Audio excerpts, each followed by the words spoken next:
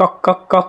นานแค่ไหนแล้วที่เราไม่ได้เข้าไปลบเพิ่มพื้นที่ว่างในเครื่อง ไม่รู้ตอนนี้กินพื้นที่ในเครื่องเราไปเท่าไหร่แล้วนะเดี๋ยววันนี้เรามาทบทวนวิธีการเคลียร์พื้นที่ว่างในเครื่องด้วยกันนะครับ ผมไปกัน เรามาเริ่มจากการเข้าไปที่ 3 ขีดบนซ้ายนี้นะครับ กดเข้าไปแล้วก็เลือกการตั้งค่าและความเป็นส่วนตัว จากนั้นเลื่อนขึ้นนะครับ แล้วก็จะเห็นคำว่า เพิ่มพื้นที่นะครับ นี่เจอแล้วเพิ่มพื้นที่ว่างกดเข้าไป ก็ให้เครื่องคำนวณนะฮะว่าใช้พื้นที่โอ้ใช้ไป 7%แล้วฮะ